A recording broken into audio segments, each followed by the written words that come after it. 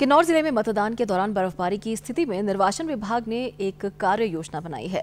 जिला निर्वाचन अधिकारी आबिद हुसैन सादिक ने बताया कि अधिक बर्फबारी वाले मतदान केंद्रों में पहले से ही चुनाव सामग्री पहुंचाई जाएगी और बर्फ़ हटाने के लिए भी भारी मशीनरी का प्रबंध किया जाएगा। उन्होंने कहा कि केंद्र सरकार ने चुनाव के लिए हिमाचल को तीन हेलीकॉप्टर दिए हैं और इनमें से एक हेलीकॉप्टर किन्नौर ज़िले के लिए मांगा गया है।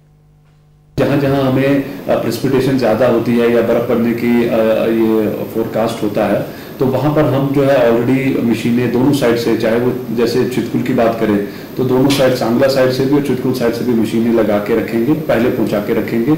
इलेक्शन से दो दिन पहले वहाँ पर मशीनें होगी।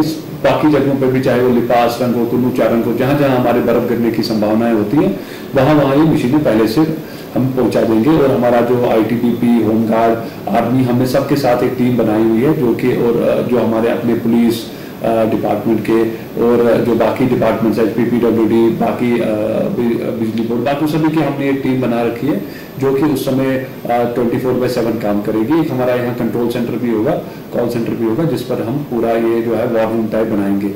प्लस हमने एक सीओ साहब से अपी ये दरखास्त भी की है कि यहाँ पर एक चॉपर का इंतज़ाम रखें। मतलब पूरे स्टेट को तीन चॉपर दिए गए हैं।